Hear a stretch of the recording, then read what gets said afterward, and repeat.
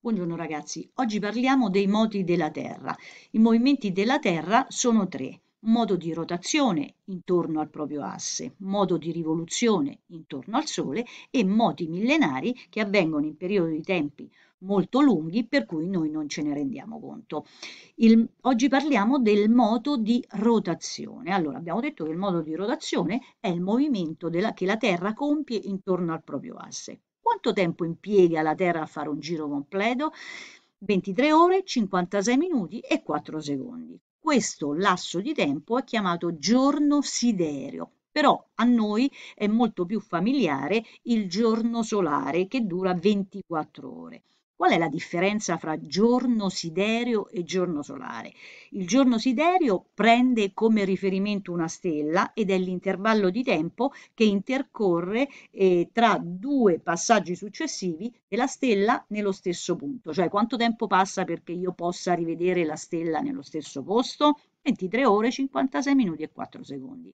Invece nel giorno solare si prende come riferimento il Sole e corrisponde al tempo che intercorre tra due successive culminazioni solari nello stesso eh, meridiano, cioè quanto tempo intercorre perché in un punto da mezzogiorno torni successivamente mezzogiorno?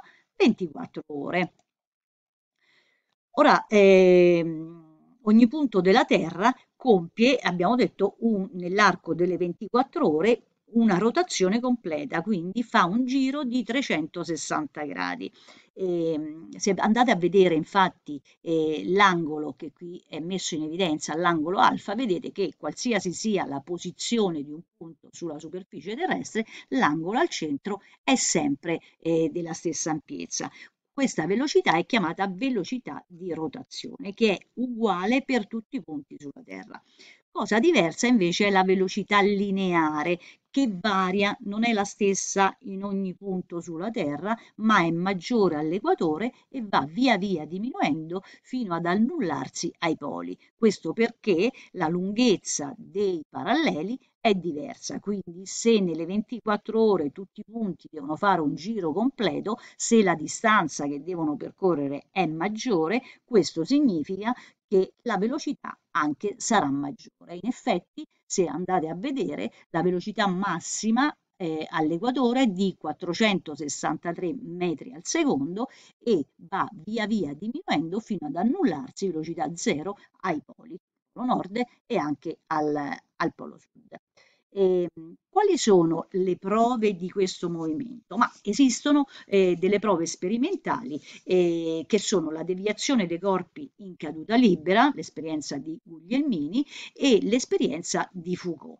Allora, che cosa fece Guglielmini? Guglielmini fece, lanciò, fece cadere un grave dalla torre degli Asinelli a, a Bologna. E che cosa vide? Vide che questo grave, un grave è un peso, eh, non cadeva secondo la perpendicolare, ma cadeva leggermente spostato verso est. Questo proprio perché eh, la Terra al di sotto si muove. Allora, mh, mm, che cosa succede? Succede che il, il grave che si trova a, eh, sopra la torre e ha una velocità lineare maggiore rispetto ai punti della superficie terrestre perché è più lontano dall'asse terrestre. Quindi, vedete, dovrà percorrere una distanza maggiore rispetto ai punti sulla superficie terrestre.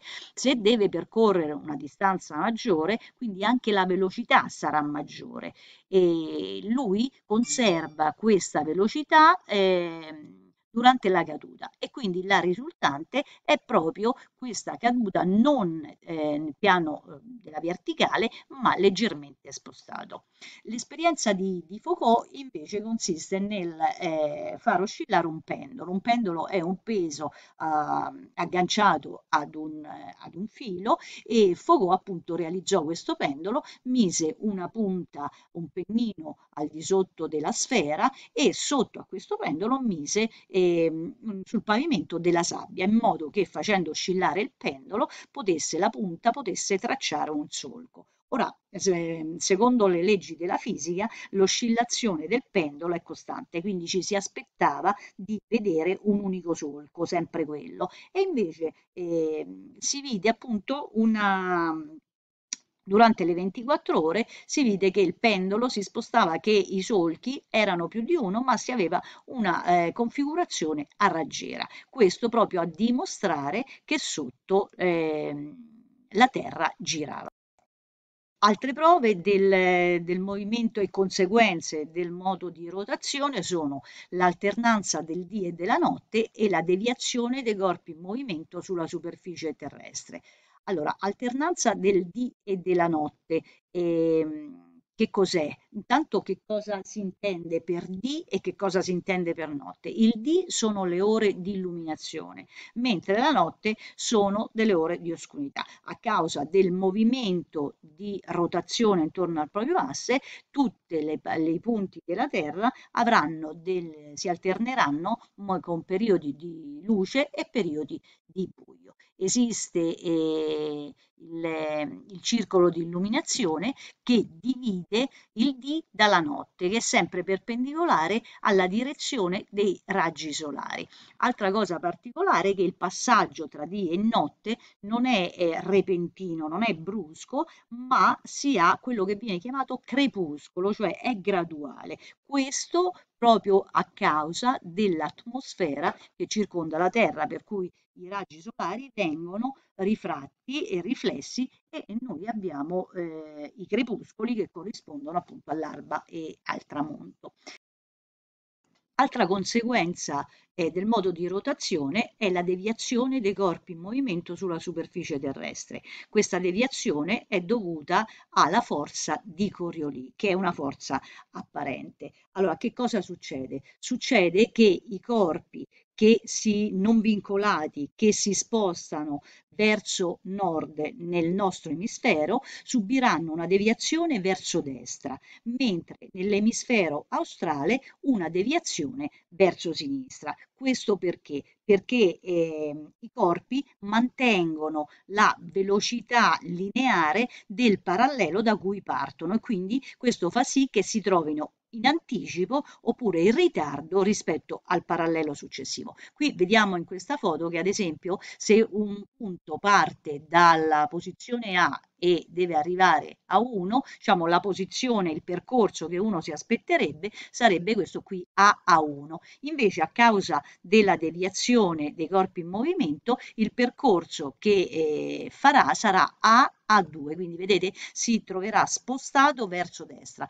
Invece nell'altro emisfero, eh, andiamo a vedere B qui, eh, se un B3, eh, se un punto parte da eh, la posizione B3, eh, allora subirà una deviazione verso sinistra, quello che ci si aspetterà sarà il percorso eh, B3-B1 e invece il, in realtà il percorso sarà B3-B2. B2. Quindi vedete che c'è proprio questa eh, deviazione e questa, questa forza di Coriolis è molto importante per studiare i venti e le, le correnti marine.